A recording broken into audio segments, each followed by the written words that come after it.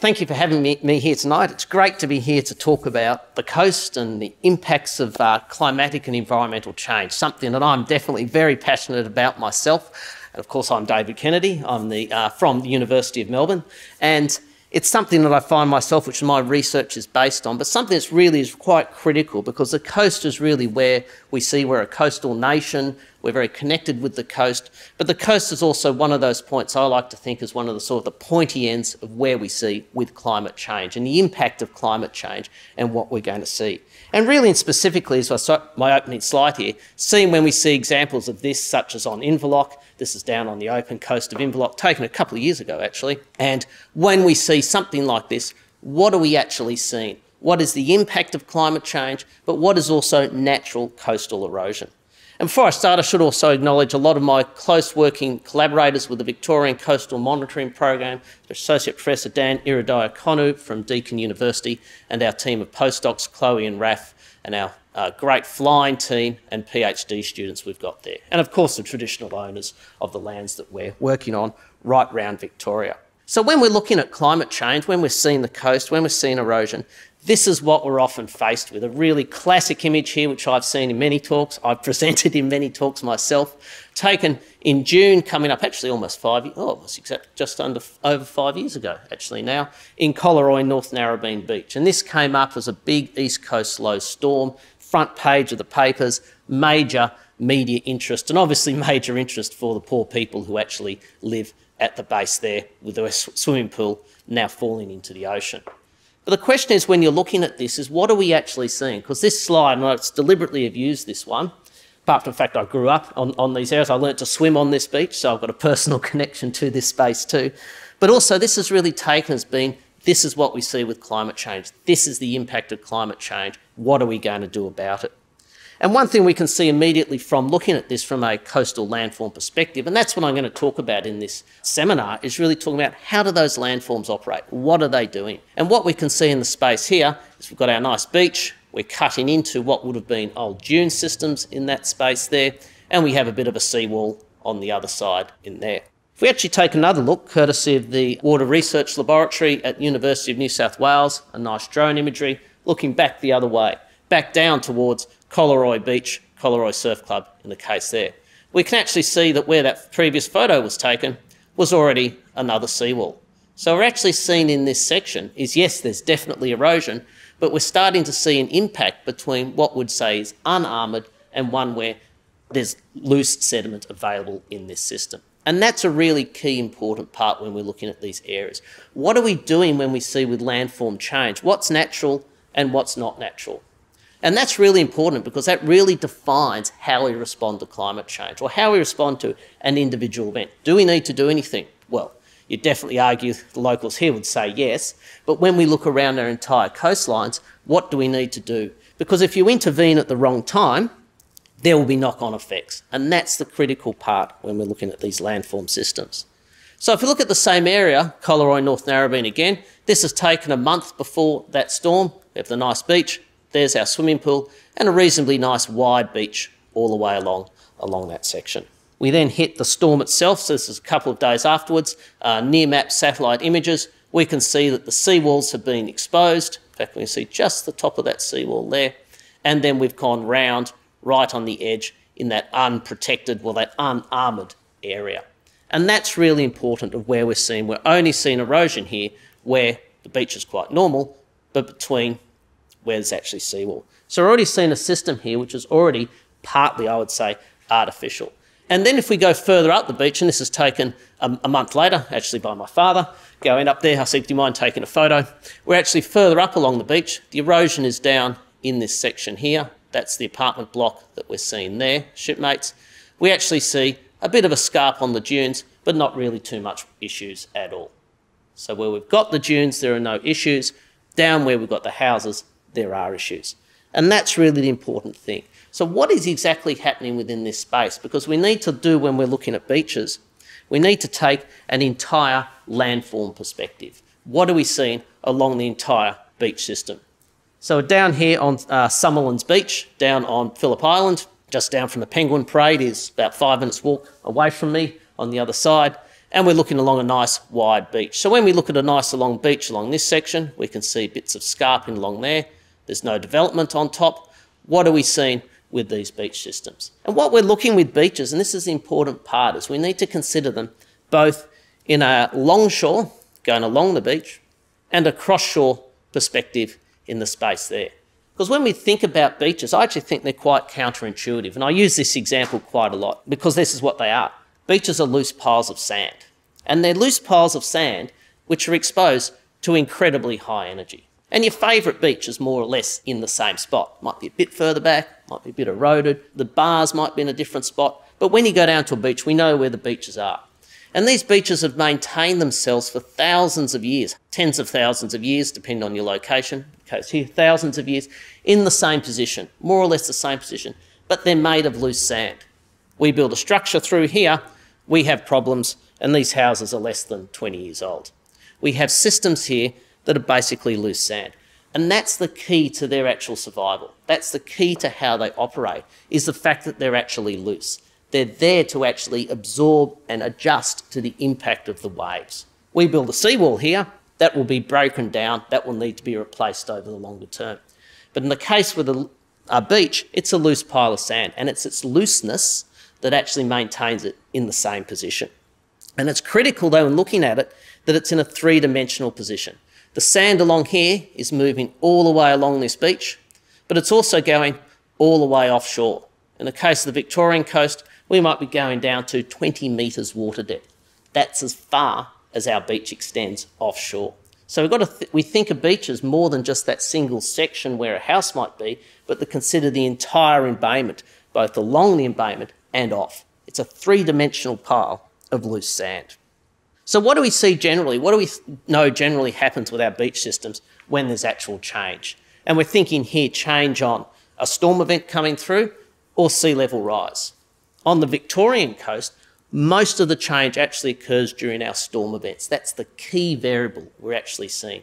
So when it comes to climate change and future higher sea levels, in the near future, it's actually the change in wave direction in Victoria that's going to drive the change, or is driving the change in some cases. Sea level itself, not relevant on the open coast at the moment. It is actually the change in wave direction that is driving what we're seeing. So what we're seeing along here, so we're here at Cape Woolamai Beach, down at the uh, end of Phillip Island, and we imagine our beach profile along this is what we call sort of an equilibrium beach. So our beach itself extends from right at the back, this is the bit you're working on, all the way offshore down to what we know as wave depth, wave closure. So the closure depth is where waves can significantly stir the sand on the seabed. So that's why we're saying that our beaches will extend in some cases down to 20 metres uh, depth offshore. So we might be going quite a long way off. We're going right through this surf zone out to round about there in some cases. So what we see then when we get a higher sea level or a storm, and that's what happens during storms, is it's a temporary rise in sea level, is we see that we get deeper water depths, we get more wave energy, and when we increase water depth, we allow more wave energy to come in and hit what we call the beach face. So bring our storm waves, have higher energy, it's also deeper water, more of that energy can get onto the beach. And the beach's response is to then shift that sand. It absorbs that impact. And that's what our beach systems are doing. They're absorbing the impact of that change in energy. So the energy is a storm plus a higher sea level gets you more energy to the beach. So the beach responds through effectively flattening itself out. That's what we're doing there. We're actually flattening that beach. So if we look through here, we take that beach, we get some erosion in the space there, and that sand is then transferred offshore. So we flatten our beach out. So what we're doing is we flatten that beach out, is the beach is effectively lying back and sh shallowing offshore to absorb the impact of waves. That's how it's responding to the increase in wave energy. We move it off. So when you start looking at a beach system, and here we are in the Bellarine Peninsula, the entrance to the heads is up here. Even in a small case like this, where it's our smaller beach face, large one at Cape Woolamai, we're going offshore to about here. But if critically, the bit of sand you work, work on, walk on, or work on in my case, is the actual, that's the store of sand for the storms. And that's the critical part. The things we think about when we look at our beach system, most of the beach, our sandy beaches, is underwater. The bit we walk on, or in some cases the bit we build on, the beach face and the front part of those dunes, that's the store of sand for storms. So that's how a beach responds. It wants to flatten out. It's got that store of sand to maintain that profile. And that's really the fundamental thing when we're looking at our beaches that makes them why they're still there. And they're doing this over every wave that impacts the beach is moving sand. It's a constant feedback between that environment. It's just the bigger waves, the bigger storm events move more sand, and that's what we see. The sand is moving both on and offshore as it goes. So as the waves tend to wane, you actually get them being more constructional. So it starts to get into the actual the length of the waves or the wave period and their steepness. So the net movement of sediment will actually be in the shorter wave period you get during storms. It generally tends to be more offshore. But as the in calmer periods, the waves actually the net sediment flux is actually pushing it back onshore. And especially in periods of sea level rise, you actually find as the waves will actually come up, they're actually pushing the sand over the top. So we actually have a look at a lot of longer term coastal evolution. We actually call it barrier rollover. So effectively, the barrier bulldozes itself as it moves landward. And you actually see that on the east coast of the states on those big, long barrier islands, which always have big storms, Hurricane Sandy, and those ones. They're actually going through a process of barrier rollover as well because the sand will actually push. So during storms, the waves will push sand inland over the back of dunes, but then on the beach face itself, as the storm wanes, the net movement of the energy actually pushes sand onshore. So the dunes themselves, if they can reconstruct post storm events, so they'll be able to shift back. So the dunes themselves, and we know that they can because we've seen from the mid Holocene when sea level was higher. I mean, that's only four, five thousand years ago. I mean, only geological timescale, that's nothing. Uh, but sea level was higher, and we know we can see where those dunes are. We can see those dunes on the coast. So they are there and they'll move. But it's sort of really then seen, and that's when that idea of the sand shifting inland. Because the dunes themselves, as they get more eroded, so they'll get little blowouts, and that the wind will then push the sand in. So you can push the sand in through straight overwash, and that happens a bit in Gippsland, around Seaspray and a bit south of that. That'll move it in. But then the wind itself will also move that sand. So that leads to a critical question then is well, what are the timescales of this? We're seeing change on the coastline. We're going to see sand moving round. Any change in wave direction, the beaches are going to move to it because that's how they survive in the spot. But the thing then becomes, or the key next stage is, well, what's the timescale that this then occurs over? And anyone who's heard a talk, talk from me, I always show this data up through here because it really is one of my favourite data sets. I can't claim credit for it. Uh, Bruce Thom started off this with uh, Roger McLean from the Australian Defence Force Academy. So this is Moruya Beach in central southern New South Wales. And the reason this is such a good one is this is one of the probably, I'll almost say the longest continually surveyed beach in the world. So courtesy of the Australian Defence Force Academy, officer cadets do a week survey field trip and they come down and they've been doing that down on the same site since 1972. So what we see along this beach, which is also very nice because it's in a natural state, is when we start looking at a beach system, well, here's our beach face. We know that's a store of sand. Here's some dunes. Well, that's going to be a store of sand for the storms. How often does that go on? How does it come back? What's the time frame? So this is the survey data from this beach, just a selection of that. And yes, it's a blur.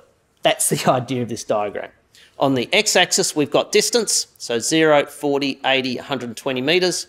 On the y-axis, this is just depth down from the back of their profile. Not related to sea level, just depth from back in the toe of the dunes. And each black line is one profile along that section. So each black line is a single profile. And what we have here is a blur of lines. There's no doubt about that. But what it's actually defining is what we call a beach envelope. It's defining that volume of sand that's been used as we move the profile offshore. So to get an idea of the scale of this, if we just take this one down here, we're down about minus 8, come up to about there, what's about minus 3, 5 metres vertical movement on this profile. We go from, say, maybe take a line there, and then we go, so that's about 1, 20, 30, 40, go back to about here, or we're down about 30. So 100 metres lateral movement on these beach profiles. That's the natural movement. What we're seeing here is going. So if we go back within this area, this is actually the storm scar from 1974. That was a really major part of storminess on the New South Wales coast. The 2016 storm was close to it, but it wasn't the same magnitude. And it didn't come in from as much direction that it was. So we still haven't seen a storm event equivalent to what we saw as a, had about three of them in 1974.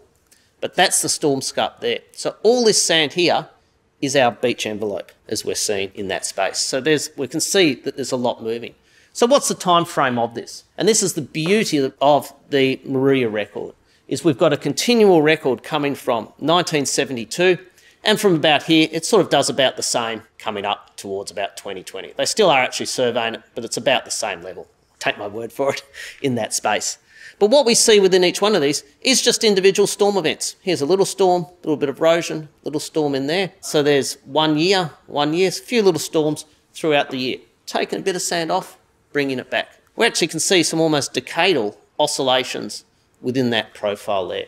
So we're seeing that these beaches are operating. We know climate systems operate over decadal scales. There's El Nino. We know that does, the El Nino Southern Oscillation. And the key part of this spot is 1974. We came along with our beach volumes, and this is just total volume on the beach. We suddenly had the big storm events, and we pretty much went from, we almost halved that beach. All that sand went offshore. We can see in the background there, there's our beach scarp. All the stuff that's sitting in here shifted offshore. That sand went in there as that profile adjusted completely natural. And then it stayed in what's called an erosion dominated period, almost for about nine years. Then progressively came up about five years, turned back up in that space. So what we're seeing in this area is then we're seeing our movement of our sand moving offshore, one big event. That's when our change occurs. That's what happens on our Victorian coast. This is what's happening on the New South Wales coast. But it then took about nine years for it to reach one stage and then another four year period, five, to get back up to normal for that sand to return. But it did return naturally, and that's the critical part. If any interventions had been done on this coastline, then there might have been a problem. And that's the key part of doing that. This is what beaches do naturally. Things are going to change in the future, but we need to know what they're doing now, and that's the really important part. How do we get these long-term monitoring programs set up? And the really the big limitation is there's the funding cycle of three years. But the other one is really thinking of where we've had these long term data sets. And the one at Moruya is simply because Roger McLean was based at Moruya for his career, and that's what he's interested in. So it's these people who've had the long careers in a single location. And I think the modern academic drive and the modern research one doesn't work in those long term scales. So, your sort of individual project tends to be a short term funding, two, three year cycle. And you often don't tend to think, oh, I'd like to set up, no one's going to fund you for a 20 year cycle. And you're always stuck in it, oh, well, we don't have a lot of data. There were some great ones set up in Victoria by the old works departments or whatever they were called in the 70s. And we actually tried to track them down some of the early ones and going, oh, well, that was in that filing cabinet that got shredded. I mean, it's a, it's a common story. It's not just any particular person, but it's just the longer term records are really down to an individual's passion. And that's that space there. I'm here and I recognise the value of these data sets. And I think that's really important. I mean, there's another argument with the new, with being able to go back through Landsat and Sentinel uh, to Sentinel 3 satellite imagery. We can get that back to 30 years now.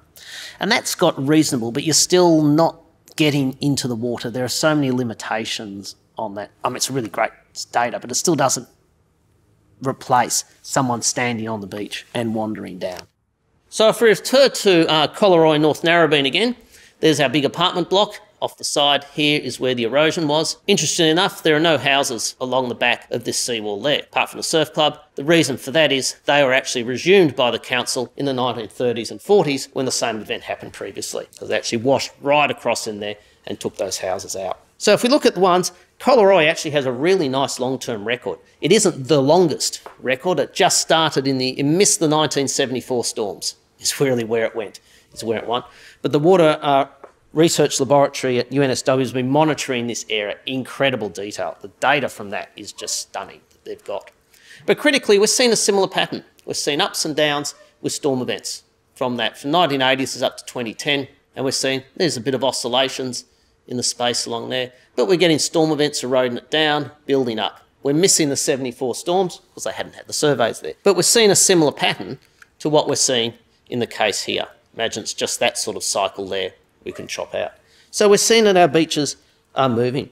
And the interesting spot as we move along with Collaroy North Narrabeen is we actually have about 60% of the variability, two thirds of it, just under two thirds, is actually an on offshore movement. That classic, what I described, equilibrium model. We're flattening the beach out. But in the case here, about a quarter of it is actually moving in a longshore variability as well. There's quite a seasonal movement in this, be this beach system related to passage of east coast lows coming down the East Australian coast. So the beach itself, storm moves out, but it also moves along the embayment there. And that's really important. This is where the sand, the sand that's up here, affects what's happening on the beach down there. Sand that's happening off here affects what's happening on shore. And for where the uh, erosion was, was pretty much almost right in that middle transition period. So this is the key thing when we're looking at our beaches. What are we actually seeing? What is the sand going off? But where is it moving within the embayment? And it's actually been uh, done quite nice, actually by Bruce Thom, who was part of that initial setting up of the surveys at Moruya, has classified them as coastal embayments. And that's the really, thinking like catchments. You do something at the top of a catchment, it affects the bottom of the catchment. Exactly the same on the coast. You fiddle around with one part of the beach, it affects another. And we can sort of see this down in a more local area. Here we are down at Apollo Bay. Every time I'm down to Apollo Bay, I'm actually surveying. I don't actually take the nice shots, so I had to steal this one off Visit Melbourne website from there. But what we've got down here is then saying, okay, what can we do? We don't have these longer term records in Victoria. It's just that lucky that New South Wales had ADFA and a couple of the early uh, geomorphologists were living actually behind Collaroy Beach. So they started off in that space.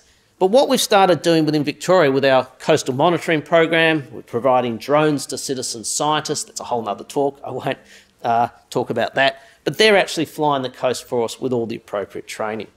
And this is what some of the team have been doing. So if we look at this coastline along here, and this has definitely made the news quite a lot over the past couple of years. Of course, the Great Ocean Road is coming nicely all the way along and then disappearing around the back. This is one of the spots where sort of say we're going to lose the Great Ocean Road because it's really sitting at the back of the beach. So what's actually happening at Apollo Bay? This is some great metrics. Nick Pucino, PhD student, part of the program based at Deakin, has really been doing a whole lot of machine learning of our citizen science drone surveys. So this is only 18 months worth of data. So we're sort of doing one and a half seasons, really. So it's not a lot to do major change, but what we can start to do is start to say, okay, let's contextualize this in the broader landscape area What's that volume of sand that's moving? How dynamic are these beaches? So we've got the harbour at Apollo Bay, and we can see we've got erosion. In the case here, this is red. So it's an erosional area. Okay, so it's an erosional regime. These aren't actually exact numbers. It's just highly erosional, not highly erosional. Think of it that way. An erosional section there. And we can see in the case here, uh, we're down at B. This is actually where there's a car park. So we've got an area spot there erosional section there. But importantly, we've got different areas of an erosional section, accretional, erosional, accretional, erosional. Really important to see the beach embayment that's moving around. It's a three-dimensional structure. You often find that on coastlines as you get hotspots of erosion. And this is often where you'll find the rips are within your coastal area. This is where your rip currents will be. Usually where your surf clubs are built too, because that's the most dangerous spot for swimming in that space. But we're seeing getting cycles of erosion and accretion in what is quite a small area along that section. And this is just within one season. And we look at this in cross section, this is the beautiful things the modern drone surveys. It's fantastic for scientists as me. Three dimensional centimetre scale models of the coastline. It's just awesome. But we can see here's our beach, our dune system, and we can see there's erosion. A lot of our erosion here, there out, we've actually chomped out the front. So this is zone E, which is this section here. So I've taken out, I've biased the sample here for this presentation. I've taken just the main erosion, but we can see in the case here where we've got our main part of erosion at C, that's what we're seeing. That's that profile there. We're seeing the dune has been removed out. That's what we're seeing. It's flattening out. It's taken that pile of sand from that dune. It's needed elsewhere. It's needed elsewhere to maintain that beach. That's really important in that space. So what does that mean over the longer term? Because obviously we don't have 30, 40 years of, well, coming up 50 years almost of data now from in fact, next year will be 50 years from the Moruya area, is well, we can start using historical aerial photo records. And that's what we're now to do now is take back that record, which is going back to now the 1940s as the earliest one. We combine this with the latest Landsat imagery. The processing power of modern machine learning is just amazing of what can be pulled out now of these historical data sets. So what we've done now, and this is our Raf uh, Carvalho, uh, postdoc as part of the team as well, has taken historical records to then say, well, let's contextualise this. This is definitely eroding now, or in the last couple of years, this has been a problem. They've been putting rocks in along here. But if we look at the actual historic, back to, this is back to the 1930s, we actually find that this area is actually, and this is accretion in metres, so it's actually built out 166 metres. So our erosional spot here is actually net through time actually built out. So this is a part of the coastline, whereas a bit further up, we're starting to sort of get a bit of erosion and it's a bit more stable. So effectively what we've had here is this is really more the natural coastline. They built harbour, Port Fairy Harbour, that created a sediment trap, which then built out that nice park when you go down there. You buy fish and chips there, go out to the park, very nice afternoon. But that is actually the area that's actually built out. And that's really commonly forgotten on coastlines. Human timescales are so insignificant. I mean, a lifetime of living in a spot. You live there for 20 years, that's a long time. You've got a long connection there. I mean, Indigenous cultures have a lot longer connection, especially in Australia, to that coastline. But we're often still done within our individual perception of what we remember. And him, these things are operating over multi-decadal timescales. And we often forget what's happened from the 1930s. I mean, I wasn't around then, so in that space. In Victoria, it's the early uh, charts. The oh, I've just mental blank on the name actually was, but the early charts they actually did round were really very good. Some of the charts they did in that sort of the early sort of post indigenous only European settlement type areas. So they did a lot, and that was driven by a lot of the need for coastal shipping. So Warrnambool, a lot of the data we have on Warrnambool Port Fairy were from the early charts and they'll get along. So can, and that's where you see these big jumps of where there's a lot of reclamation that's just forgotten. So these beautiful coastal plains, and you go, oh, it's actually only 100 years old. But yeah, nautical charts. But then it's interesting once you're sitting in there, you start to get these spaces. So you go, okay, we've got this most state-of-the-art topographic survey system. Okay, how does that link to the satellite, to the tide gauge, to what were they using from an old? But it's really good. And I think a lot of it, it's mining that data as much as you can and recognizing it, but also recognizing the limitations. So you're not saying centimetre scale, but some of those early, Stanley, that's the name, the early Stanley charts were really good. Some of those early surveys knew their stuff. So we can then start looking at within another spot. So a case here, we're actually going to come along and then sort of return to another erosion problem at Inverloch. So this is taken from our drone surveys. And what we've seen at Inverloch in the last 10 years is major erosion along the front. So we are where the surf club is here. I'm going to zoom in. And in fact, the current survey line is coming right up to the front of that surf club now. So we're definitely truncating this area. This is all taken from our citizen science drone surveys. Big erosion area here. That sand's been gone and it's actually built out.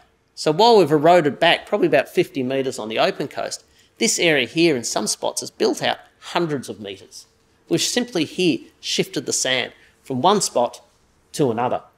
Interestingly, as part of our Steph uh, Moss, one of my PhD, uh, not PhD, master's students, she actually calculated the volumetrics of this, and the actual sand, it's actually only about one sixth the sand eroded that's actually deposited there. Or I should say, all the sand that's eroded accounts for one sixth the volume of that entire spit that we're seeing there. And there's actually the whole entrance to Anderson Inlet. So there's cycling of sediment coming round on that space. But critically, what we're seeing here is the sand is moving both across shore and longshore. That's the critical part. The sand isn't lost from the system. And that's a really important thing with erosion. It's not lost. It's simply that the wave dynamics there need it somewhere else. That's what we actually see with these systems. We're shifting that sand from one location to another, either offshore or we're seeing here in a longshore direction. And that's really important. But then we have other complications, and that's the thing with the coastline. It's really, I mean, it's almost impossible. I feel say, well, can't you just tell me what's happening? Well, I've actually got to see the site, not just as an excuse to get out of the office.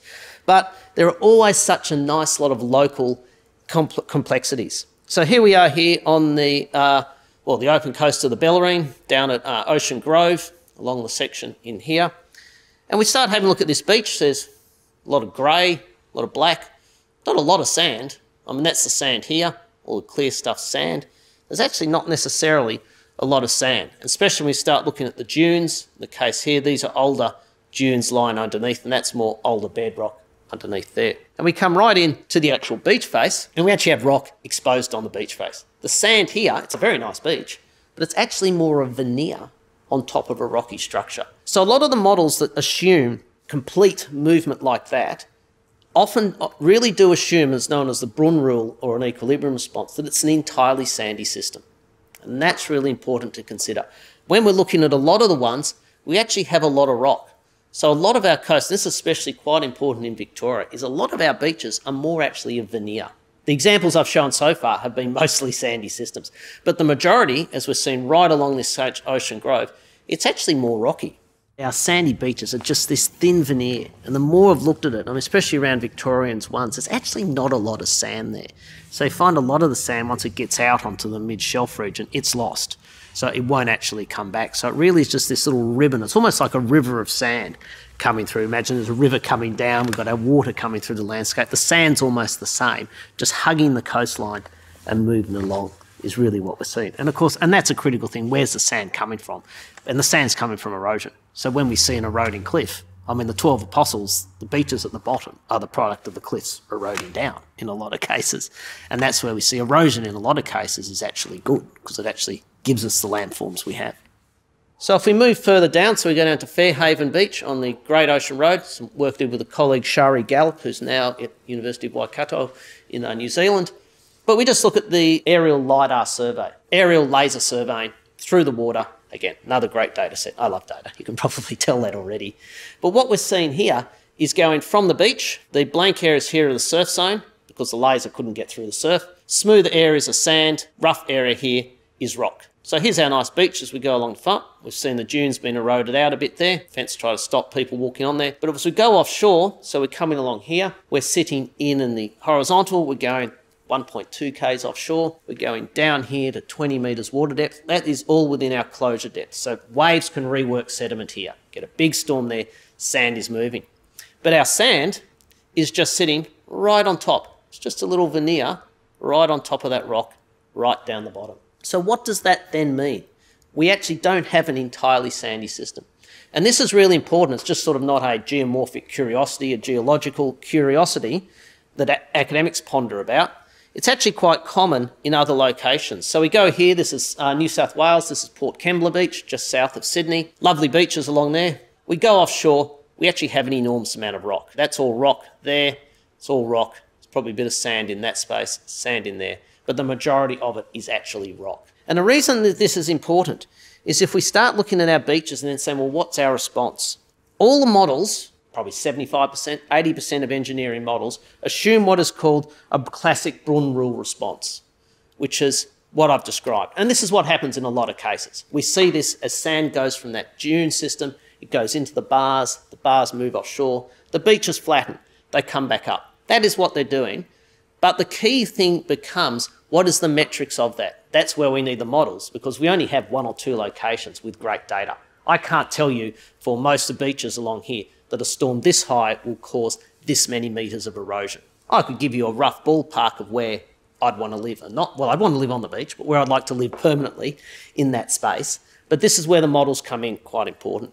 So Bruun rules assume a completely sandy profile, with a majority of sediment transport going from the beach face offshore, one direction going back in a linear type fashion. Not as much in the longshore, What's actually been suggested more recently, known as the Davidson Arnott model, after Robin Davidson Arnott, coastal geomorphologist in Canada, was actually suggesting, well, actually, maybe some of the sand actually moves inland, especially in these situations where we're in a sediment limited setting, where what we'd say is has geological control.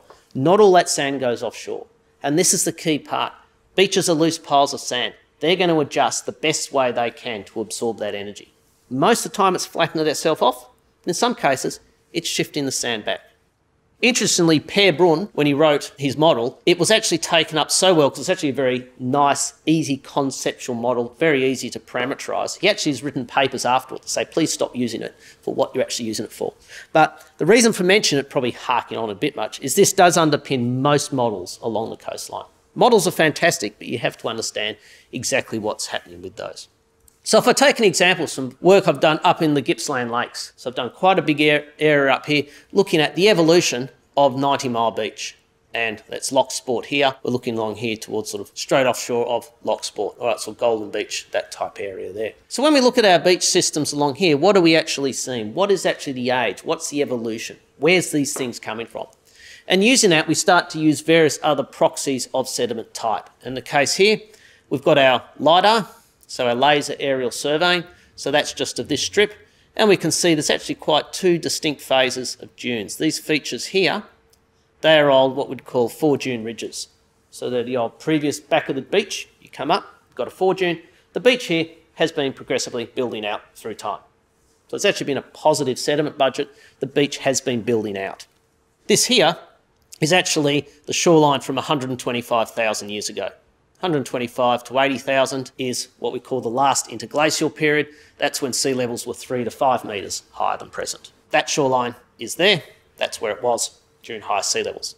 Importantly for this, we've got areas. So we've got nice dunes, but we actually have, looks a bit wobbly, across there might be a very geomorphic term in that case. There's a bit more topography, a bit more relief right at the front. So we can see little areas of dunes movement in the case there. So we've had our beach build out, but just from this LiDAR survey, it appears there's something else happening right at the front. So what we've done in the case here, and this is colleagues actually at University of Wollongong, we've actually taken what's known as ground penetrating radar. Originally developed for the Apollo lunar missions to make sure they didn't sink into the sand. In fact, the latest rovers, I think the Chinese one has a GPR on it on Mars, and so does the current uh, NASA one, Spirit. So what we're seeing is you blur your eyes, hope for the best, and what we're seeing is the internal structure of that dune is what we're seeing in the space there. So you can see all the, well, you probably can or you can't. There are little lines of con there. There are other ones there. It's actually picking out the beds in that space there. I've already done some interpretation for you. What we've got along here is actually an old soil profile coming along the top. So quite a distinct soil profile right along the front of this dune. And the numbers here are luminescence ages. So this is aging the sand. So those of you who aren't familiar with it, we're taking a grain of quartz and we're seeing when that grain of quartz was last exposed to light. Once it's buried, it builds up a signal through time. And this can date samples down to 40, 50 years old. And they've actually tested it right on the Moruya sequences of taking out that current envelope and gone, yes, that's 40 years old. I mean, we already knew it was, but really testing the technique. But what we've seen from this is underneath that soil layer, it's about 1300 years, 1300, 1900, but above it, 80 years old, 50 years old, and quite distinct, we don't have an age on that spot there, but quite distinct modern reworking. What we're actually seeing here is this beach is actually stepping back, behaving more like that, is what we're starting to see within this sequence. So we're starting to see beach response within this space. Whether this is a straight product of sea level rise and changing storms, not 100% sure yet. There are other factors that affect dunes, but we are starting to see that response on this system. Really important. So the sand's moving offshore. The other ages, 6,000, 5,700, that's sitting in the back round about here. During that time, that's actually known as the mid-Holocene optimum. That's where we're predicted to go with climate change. Sea levels were one to one and a half metres higher, and sea surface temperatures were about the same in terms of warmth. Very easy. The coast has been there very recently in the geological past. So I've just wanted to talk about sandy beaches. What does that mean for other locations? What do we do when we see other locations around the world? And Kiribati, really the one taken here. I just took just a quick random uh, Google search, came up with a nice one from The Guardian. You'll get buckets, loads, mounds, whatever adjective you want to use for Kiribati is really the uh, area, really at the pointy end of climate change. And there have been suggestions of even forcibly removing people from islands, has been actually suggested as part in UN discussions at some stage. But obviously, people don't want to move. So what's happening with these areas? They're low lying. They're hit by cyclones. A lot of these areas don't have much land above high tide. And that's really an area that's doing. But what do we see with how these beaches? It's a loose pile of sand. They've remained here. You date these islands. Some of these islands have been here for thousands of years. They've been here when it's actually been warmer. They've been there when it's actually been higher. What is actually happening with these landform systems? And the critical part with this is starting to say, well, okay, How are they then moving? And this is then using the same techniques we've used in the Victorian coast and used right around the world. The case here, this is some work, I can't claim credit for this, a paper that's just coming out in the journal Ge Geomorphology. So what they've done is analysed right round Kiribati, this is one of the islands in Kiribati, of just looking at all the islands on top of the atolls and then seeing what's the rate of change. Greater than a metre per year, accretion. So the dotted line there is the 1945, the red line is 2018. These islands are moving. They're, that's how sand does. You get a different energy environment comes there, the sand wants to move somewhere else. It doesn't disappear, it just needs to be somewhere else. That's what's happening within our systems. And that's what we're seeing in the case here of Kiribati. We're actually finding accretion at the back there. There's a little area coming out there. And we're finding sort of most of it is actually remaining quite stable along this section. We look at the entire island itself. This is the entire archipelago of Kiribati, the entire country, and each dot just represents an atoll island, a platform island. We're actually seeing that it's actually quite stable, a lot of these areas. And this is going back to the 1940s. Big changes in there in the 1940s, courtesy of World War II. These areas were used as effectively island carriers, aircraft carriers by both the Japanese and uh, Allied forces during that time. But we actually find that marked expansion, marked contraction. Some of them are eroding, no doubt about that at all. But the majority are actually pretty stable with probably a bit adding on. And what we're actually seeing within this case is it's actually an example of what we've seen with pretty much the Davidson-Arnott model.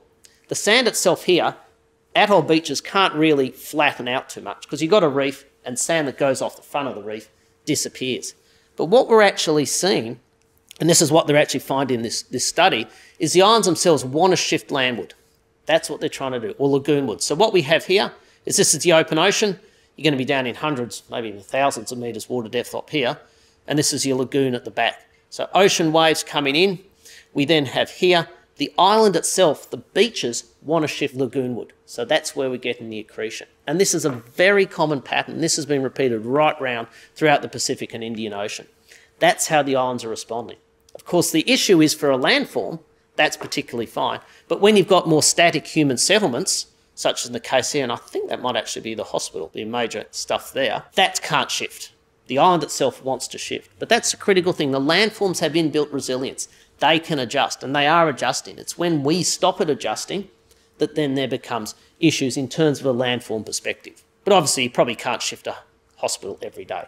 There are other applications in there. Definitely still vulnerable, but the landforms themselves are actually modifying for that. One thing Kiribati has a real limitation of, it's simply sand. sand is an incredibly valuable resource in Kiribati, so there's just not a lot of it. And that's looking in those areas of going, well, okay, where are we going to armour? Because if you're going to keep your property boundaries, and the islands are going to shift, they're going to have tropical cyclones, so you're going to need to start saying in some areas that we're actually going to have an armoured section of shoreline. But even doing that is shifting the amount of material you need to dredge for those locations. So it does have a lagoon, but the lagoons are very muddy. Again, you've got the reef on the side. But that's the, and that's sort of the probably further down of saying, well, I actually want to stay maintaining on the islands and things like that as you start to maintain those. But the Maldives is a great example of what you can possibly do. And I'll just go through just a couple more examples of just different types of landform systems to show some of the complexities that we actually see within the coastal landform. In the case here, we're looking at salt marshes. So some work done from uh, Lee Rogers at University of Wollongong and Neil Saintilan, who's at Macquarie University, done some very nice long-term records of salt marsh change. And this is an example in the case here from the Tweed River up right on that sort of close to, well, it's right on New South Wales, Queensland border. What are we actually seeing within these landform settings? What I've talked about so far has been sandy systems, sandy gravelly systems, they move around. But muddy systems, how do they actually operate? They have the advantage is they can actually build themselves. So the mud that comes into these areas, into these salt marshes, that will be derived from the streams flowing past, from the spring tides, but mangroves and salt marshes create their own sediment. In the example of the coral reef, well, the sediment that's created here is created by that reef. It's eroding off the reef, it builds it up there, but it's being transported. In the case of salt marshes, they can actually create their own surface. So they actually will build up. And what they've found with the long-term uh, rates they've been doing here, and this is another, I really like long-term measuring ones. They've been going back, this is 13 years worth of data. They're still doing this work now. But the thing is we can now do with these, longer timescales is we can now match them with sea level rise. And we can see in the case here that as sea level's definitely rising, and this is definitely one area where we say the impact of sea level rise, open coast of Victoria, it's waves. They're driving the change and storms. In bays, that's where you mean sea level, or it's really the high tide line. What's happening with the high tide, that's really where's, what's driving it. And we can see in the case here of the creek, through their residents, we're actually having the elevation trend. Our mangroves are actually increasing in height, so is our salt marsh. So it's seen in that space there. Our mangroves are building up, they're creating their own sediment, they're uh, moving up what we're seeing with sea level. So then we can start to say, well, where do we have some nice mangroves and things like that? Western Port Bay, really nice example where we've got areas. In fact, the southernmost mangroves in the world are actually in Corner Inlet, uh, southernmost ones there. And we're actually seeing inside the general bays where we've got well-developed salt marsh communities, we're actually finding that the mangroves themselves are actually now, and this is actually from Kerrylee and Neil's work, is actually migrating in. We're actually seeing an ecological shift as the mangroves are moving up with the tide. And the salt marsh itself wants to set itself back. So where we have salt marshes, and one response will be at the seaward end, is salt marshes then eroding. And work has shown that if you erode the front of a salt marsh, that sediment is often deposited on the back of it. They themselves also want to set back. It's one of the responses in there. They want to set back, is what we're seeing. In the case here, I haven't shown the best example of that because this scarping case here, in some cases, is about two metres high. So what we're actually seeing here is a combination of a couple of other factors as well. We have salt marshes wanting to accrete, but in the case here, it's actually growing on top of what is actually a lot more, probably mid-Holocene, older sediments. That's not a modern sediments in the case there.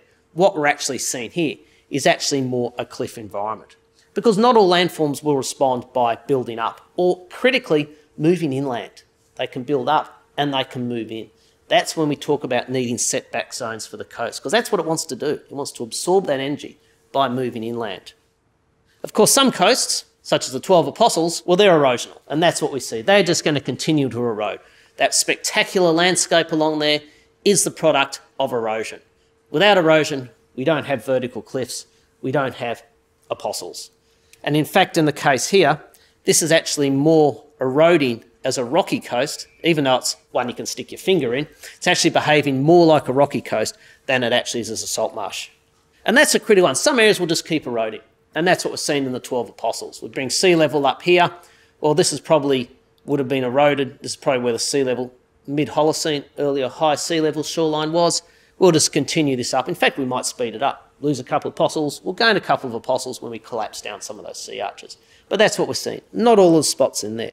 It seems to be that the recent work that's coming out with the mangroves and salt marshes, his original thought was they probably couldn't keep pace with sea level rise, but it looks like a lot of them probably do have the capacity. The general natural capacity is there, and it's a function of both the biotic generation of the how much because I mean a lot of the sediments there half of it is organic material root matter and areas like that but in some areas it will depend on how much your salt marsh is then dependent on flooding coming in and just bringing your fine silts and clays your non-organic uh, minerals in on, in on top of those areas but the key thing for those is they can keep pace but they do need to move back because if sea level's rising they can't necessarily go vertical. So that's those setbacks. And that's where salt marshes really get stuck with development. Is we tend to infill most of our salt marshes, drain them, or build roads up there. But it's amazing. Some of the recent research has shown that's some of the ones I showed in the talk was really saying they actually can keep pace. Because originally thought, oh, they're just going to be flooded. Nothing's going to happen. They're doomed.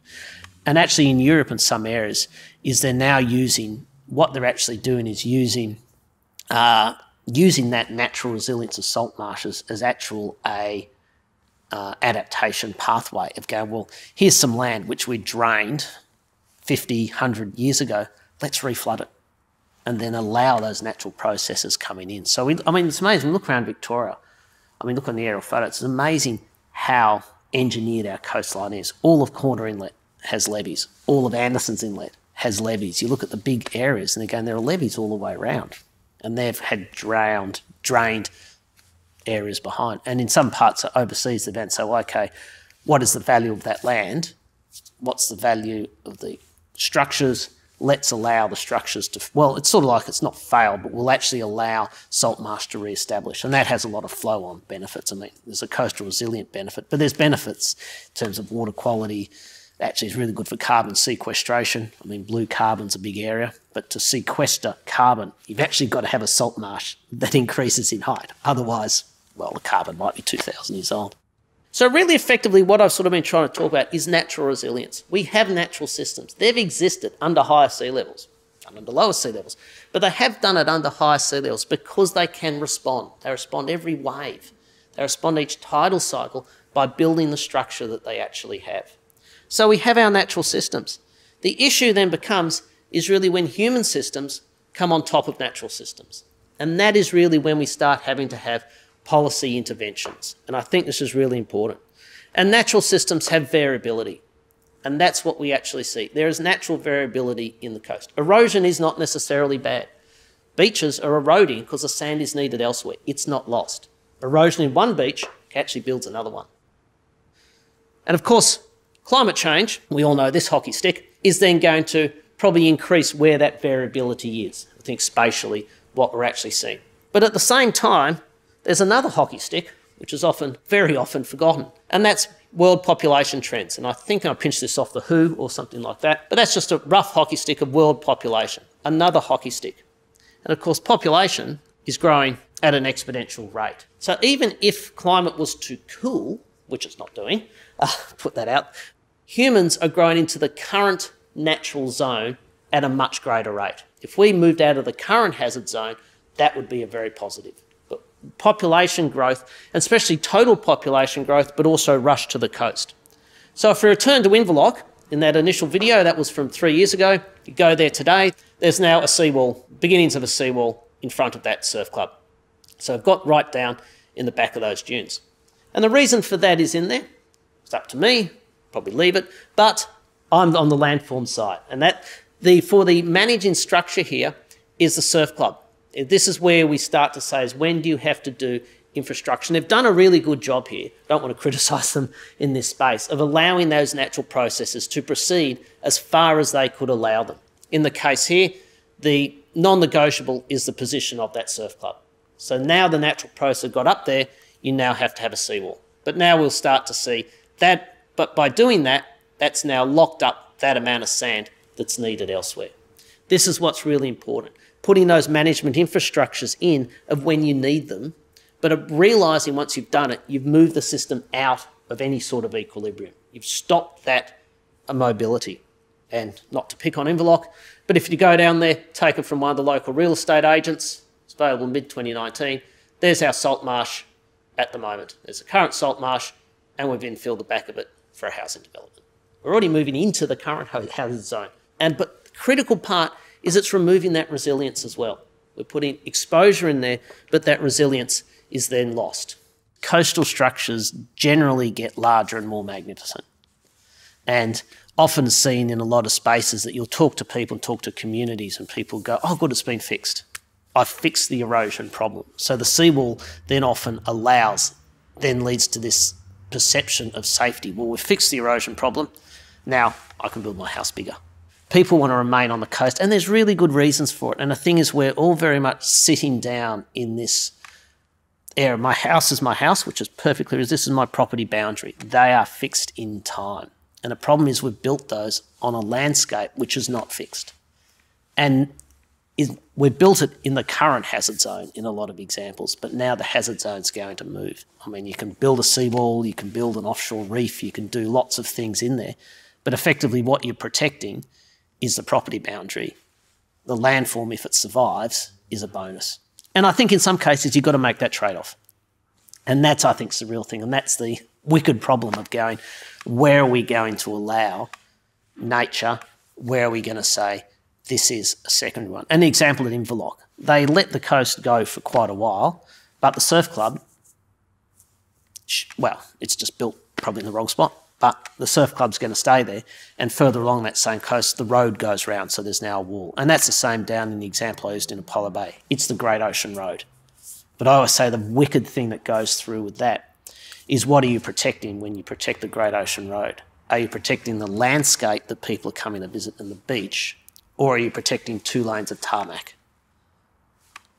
it's quite a it, and it, it's it, it's a wicked problem, and I think I take my hats off to coastal managers who have to deal with this every day.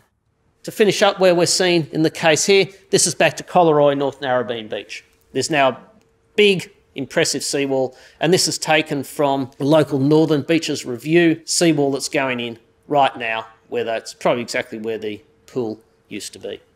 And then the case here, what we're actually seeing here, although according to the title, the storm that stole the beach, well, it didn't steal it, it's moved it offshore and it came back. It's nowhere, I can tell you exactly where it was gone, is what we saw here is the reason why there's a seawall going in is these houses were built on the dune.